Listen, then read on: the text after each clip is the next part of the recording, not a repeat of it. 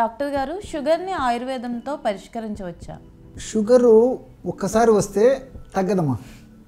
చాలా మంది చూసే ఉంటారు. వస్తే పోదన్నమాట. వస్తే పోదమ్మా. అంటే మన జాగ్రత్తలు తీసుకుంటే కానీ అది మనల్ని వదిలిపెట్టి పోదాం అది. కాబట్టి ఏమంటే రాకముందు జాగ్రత్తలు తీసుకోవాలి.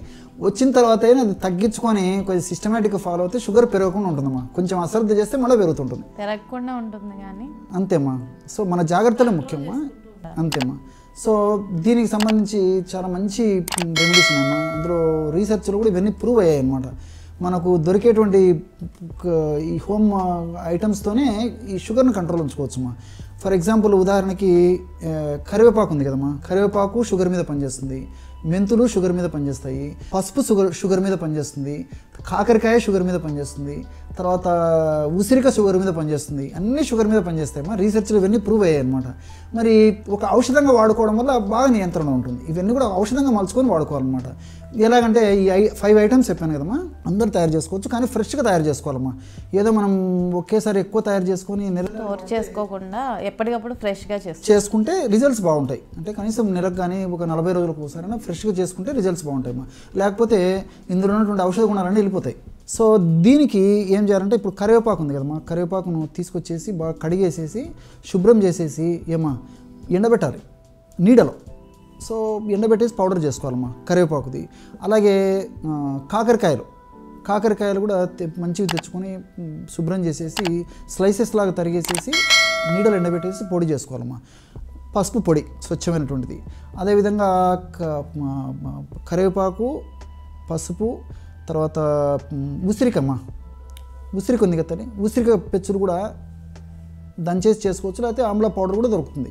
ఆ పౌడర్ కూడా తీసుకోవాలి. సో కరివేపాకు మెంతులు మెంతులు కూడా. సో మెంతులు కూడా వేయించేసేసి పౌడర్ చేసుకోవాలి. సో కరివేపాకు మెంతులు కాకరకాయ పసుపు తర్వాత ఉసిరి. అన్ని పౌడర్స్ అమ్మా. అన్ని ఈ ఫర్ ఎగ్జాంపుల్ ఒక్కొక్కటి ఒక ఫిఫ్టీ గ్రామ్స్ తీసుకున్నారు అనుకోండి టూ ఫిఫ్టీ గ్రామ్స్ ఎంత అవుతుంది.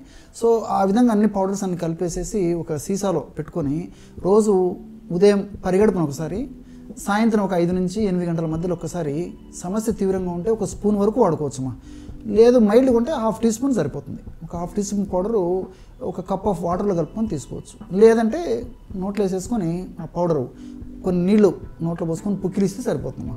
అలా చేయడం వల్ల ఏమంటే ఆ లోపల ఇన్సులిన్ ప్రొడక్షన్కు ఈ ఔషధం ఉపయోగపడుతుంది. ప్రొడక్షన్ అనేటువంటి ఇన్సులిన్ సక్రమంగా పనిచేయడానికి ఉపయోగపడుతుంది. ఏమా రెండవది ఏమంటే భవిష్యత్తులో షుగర్ వల్ల వచ్చేటువంటి ఇతర కాంప్లికేషన్స్ రాకుండా కూడా ఇది కంట్రోల్ చేస్తున్నాం కాబట్టి మనం ఒక ఔషధం వాడుకోవడం వల్ల నంబర్ ఆఫ్ బెనిఫిట్స్ ఉంటాయి. కాబట్టి జీవన శైలి ముఖ్యము ఆహార నియంత్రణ ముఖ్యమ్మా ఎందుకంటే ఆహారంలో కార్బోహైడ్రేట్స్ ఫుడ్ బాగా తగ్గించాలమ్మా షుగర్ కంట్రోల్ అవ్వాలంటే. రెండవది ఏంటంటే భోజనం చేసిన వెంటనే నిద్రపోకూడదమ్మా. మరి వయసు వచ్చిన వాళ్ళైతే పర్లేదు కానీ భోజనం చేసిన వెంటనే నిద్రపోకూడదు. రాత్రిపూట కూడా వీలైనంత వరకు అర్లీగా ఆహారం తీసుకోవడం మంచిదమ్మా. ఎంత వీలైతే అంత.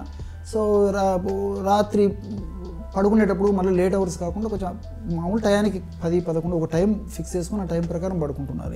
ఇట్లా కొన్ని కొన్ని జాగ్రత్తలు తీసుకుంటూ చిన్న ఎక్సర్సైజ్ ఏదైనా చేసుకుంటూ ఒక అలవాటు చేసుకోవాలమ్మా. ఈ వాకింగో జాగింగో స్కిప్పింగో రన్నింగో ప్రతిరోజు. ఇవన్నీ ఏంటంటే జీవన మార్పులమ్మా లైఫ్ స్టైల్ మాడిఫికేషన్స్ అంటారనమాట సో అలా తీసుకున్నప్పుడు భవిష్యత్తు ఇబ్బంది లేకుండా ఉంటుందన్నమాట. ఇప్పుడు ఆధునిక కృత్రిమ రసాయన ఔషధాలు వాడుకొని ఇబ్బంది ఏదైనా అదర్ ప్రాబ్లమ్స్ తెచ్చుకునే దానికంటే కూడా సింపుల్ ఔషధాలు రీసెర్చ్లో ప్రూవ్ అయినటువంటి ఔషధాలు కొన్నాళ్ళు వాడు ప్రయత్నం చేసి ఎప్పుడైతే మనకు షుగర్ కంట్రోల్ అయిపోయిందో మనం డోస్ కూడా తగ్గించుకోవచ్చు.